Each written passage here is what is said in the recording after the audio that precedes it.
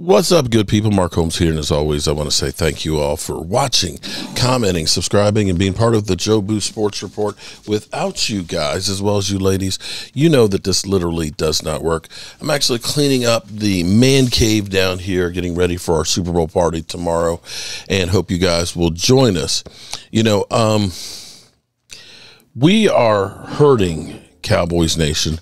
We are disgusted at where we are to me, this, you know, they always say that a person can't get help until they hit rock bottom. You know, be it, you know, a person with addictions and things. You literally have to be at rock bottom to affect change. Now, what the Cowboys, I hope, are doing, A, that they really care about winning, that if Jerry Jones is all in, that he is ready to affect change because the change is only going to come with Jerry Jones. D Law pointed out a big problem. And listen, there's a multitude of problems. We could not stop the run, and you're not going to as long as you sit here and believe that we can just take a, a safety and make him a linebacker. This is no different from when we used to look at it and say, Tyrone Crawford, he can play edge or he can play tackle. You know, when you need a defensive tackle, you need a defensive tackle. You don't need to have a lightweight guy to play tackle. It's not to say that he can't from time to time, but if you're relying on guys that are not the type of players that you need, then that's a problem. The problem was again, and this is a problem that goes all around with Tony Pollard trying to make him a between the tackles running back that could carry the load as a workhorse. And he's not that kind of guy. These are problems that Jerry Jones makes that the team can only do so much to disguise them or work around them. But when you heard D Law saying that they were tired, that they were tired, and um, that reminded me of back in 2020 when we heard that, you know, him basically say we were soft because we were getting beat up. And so it also brought me back around to the whole thing of, you know, being tired. This is no different than what Mike McCarthy said after we lost to San Francisco in the playoffs three years ago. I want to take you back. Now, I can't find the Mike McCarthy press conference, but I did find it up on Get Up where they're discussing it. And let's listen to that this morning, or actually, excuse me, depending on where you are. It's actually afternoon here now.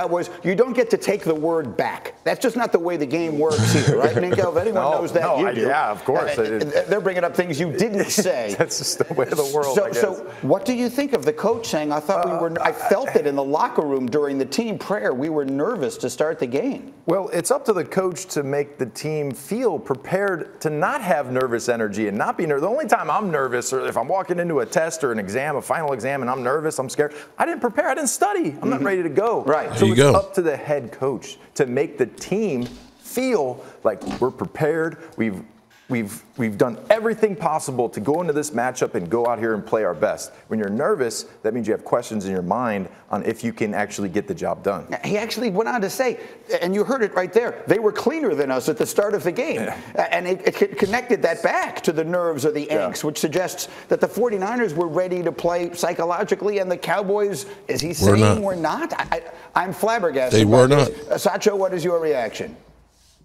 Well, I, I I don't know if y'all saw the video uh, of the San Francisco 49ers before yes. the game with Deebo Samuel, Trent Williams, and the boom box and the entire team walking out of the tunnel to the locker room. The San Francisco 49ers were not nervous and they had no reason to be. A lot of people said, and they were right, they're one of the hottest teams coming into the playoffs. Dallas Cowboys knew that, so they should have been nervous. And so I don't think he should take anything back. I think Mike McCarthy was right. The Cowboys were nervous, they played like it, and that's what we saw. He called a spade a spade, and Dallas Cowboys were a nervous spade. well, Dan, you are you are one who you know could be sitting there they were reporting on what it is the coach just said. What, what, I'm looking at your face. What is your reaction to that? We've had this conversation about Mike McCarthy all year, right? You don't call the offense, you don't call the defense. what do you do if you're not preparing the team to win? I mean, like that, that's uh, your yes. entire job is to set the tone. And so even if it's true, and, and God knows we don't get enough truth in these news conferences, so so thankful for him at least being honest, but that does not put him in a real good place vis-a-vis the criticism he is receiving for the job he did as their coach this year to say, hey, we weren't ready to we weren't ready to play at the start of that game. Hey, buddy, that's on you. That's right. You know, Nico, I think that the, the analogy you used is a good one. You know when you're not nervous walking into a test? When you know the answers. Exactly. When you know the answers to the test, you're not nervous. When you know what's expected of you, you're not nervous. When there is uncertainty of any sort, that is when you become anxious. And it, it, it suggests that there was a level of uncertainty for that team going in. I, I, is, is, this directly from the Joe Judge School of Media Management? Like, you, you have got the job and then you talk your way out of it? I don't know what's going he on. He probably should have said we had butterflies or something. Yeah. Because you always have that energy inside of you to like go play the game, but Right. to be actually nervous, that's a different thing. Yes, and look, and I'm not suggesting. Look, I'm sure he didn't mean it the way it comes out, but part of that, your job there is the messaging. So once you put that out there, it doesn't go back. I mean, at the very least, say you know they were cleaner than us at the start of the game. That's on me, right? I mean, I didn't unless we cut that part out. I didn't hear that. No, So no, they, they, he felt it during the team prayer. Yeah, go ahead, Sacho. yeah, it's on the team chat. Greedy. I, I don't think he. ready. I don't think he misspoke whatsoever. I think the Yeah. team was nervous. We don't need to talk ourselves out and try to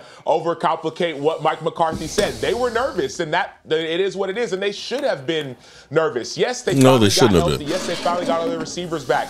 Yes, uh, they they thought they were going to win. At least a lot of people did. But San Francisco was peaking at the right time, and Nico knows this. I knows this. Anybody who's played football or watched football knows this. Sometimes it's about peaking at the right time, and San Fran was. So the Dallas Cowboys should, in fact, have been nervous, and Mike McCarthy saw that and he called it what it was. He needs Well, to be better, absolutely, but we don't need to sit here and say that they weren't nervous. So let's take that for, for let's take it then at face value. I'm sure there are a lot of fans out there watching this who are saying, "Well, you're going out to play a really big game. Of course you're nervous. You played more yes. big games than Yes. almost anybody I know. Are you Okay, we can leave that there. Um, so, in two of the three playoff games, after the fact, we got the coach saying they were nervous to start the game. We got now a player saying we were tired. So, where does this all fall on? Is this Jerry Jones who's hamstrung Mike McCarthy? where these guys, these kids are, you know, his buddies?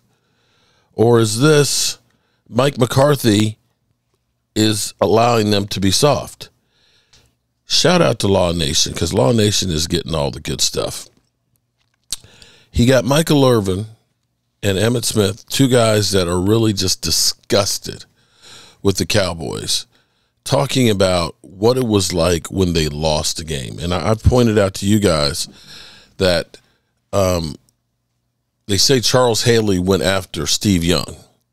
And see, what I will say is we didn't win a lot of JMU when Charles was there. That was the early years of JMU. It's not like it is now. And I think when Charles got to San Francisco and they were winning, constantly winning, that he owned that. You know, that's a guy who he'd be pissed off if he lost a game of spades uh, you know, a game of pool. Everything was, you know, life and death, winning and losing. And so this is what Emmitt and Michael Irvin said about how Jimmy Johnson was when you lost. You Get the one time we, we did lose to Washington. There was a little noise on the plane. What Jimmy went off. He came back there. He had just got done watching the live feed. Call out no names, Right, but, but, it man, was everybody. Everybody hears over. He- Shut up and shut up. say another word, I'm gonna cut you before the plane lands. we sit Dude, back there like this. Dude, dude, Damn. dude, dude. what y'all gonna do now? We talking like- you can either whoop these jokers or we gonna deal with that joker. Let's go. And, and and it was always easy just whoop their ass. And- and- To get on that yeah, plane and get us exactly. some to eat. Exactly. You know it's one of those things where you rather go outside and whip somebody behind and then come back to the house and say, Mama, we did what we needed to do. Can we get something to eat Can, can now?" we get something to eat now? But it was serious. Yeah. And that's the problem, honestly. If you don't hate losing to that degree, There and you go. sometimes you, got to help instill that in people. In I, people. I keep talking about I, I, Dallas Cowboys have enough skill. It's about the will. I never. There you go. They got enough skill. It's about the will and the mental toughness. Now, I have a hope. I have a hope because now that Jimmy Johnson is no longer persona non grata, I think I said that right. I have to check with my wife.